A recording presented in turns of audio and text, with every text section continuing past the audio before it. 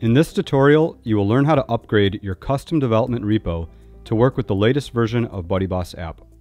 This tutorial is specifically for developers who are writing custom code for BuddyBoss app and who have already connected a custom development Git repo to their app. If you have not yet set up a Git repo for custom development, then you can skip this video. Newly configured repos will already be compatible. So for existing developers, you might be wondering, why is it that you have to update your custom development repo? The reason is because the latest version of BuddyBoss app has a really cool new feature for developers. From today, you can now include native libraries in your custom code. And we have another video showing you how to do that. But in order to make this possible, we will have to add some new files and folders into your Git repo, and so an update to your custom development repo is required. If you do not update your Git repo, then you will start to get failed builds in your build screen until you fix this issue. Fixing this issue is very simple as you're about to see, it should only take a minute or two to resolve it. With that, let's get started. If you're on a Mac, open Terminal, or if you're on Windows, open the command prompt. And over here, I have my terminal window open, and over here, I have my Git client, where I can commit new code into my custom development Git repo. The code that's currently in this repo was originally copied from the custom development template that we recommend using when creating your Git repo for the first time. To upgrade this repo, we're going to use the BuddyBoss bundler to automatically copy the new required files and folders into the repo.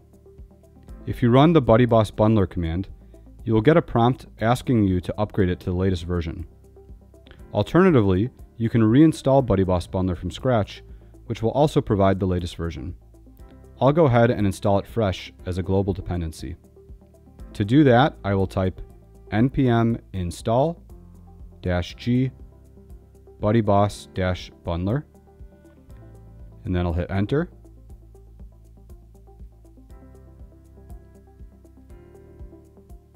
And now I will cd into the directory in my computer that contains the repo, and then I'll type buddyboss-bundler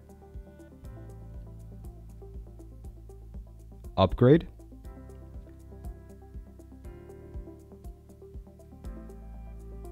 And you can see it says, your project needs to be upgraded to work with the latest BuddyBoss app. Any required folders that are missing will be imported into the project directory and configuration files will be updated. Do you want to proceed with the upgrade? So I'll type yes and then enter.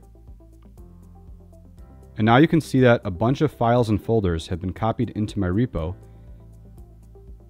And I get this message saying, your project has been upgraded. So that's it, the upgrade is done. But the changes still need to be committed to my Git repo.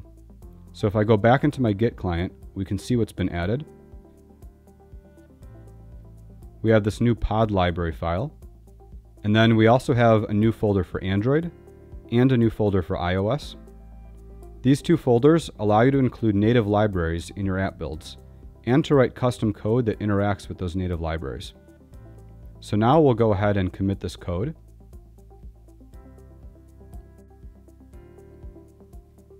And then we'll go ahead and push the code to our repo.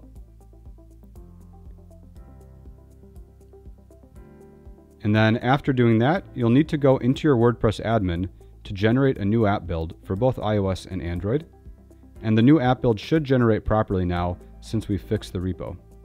And additionally, you should now be able to install and use native libraries in your custom project. If you're interested in doing that, make sure to watch our other tutorial, which shows you how to use native libraries in your code.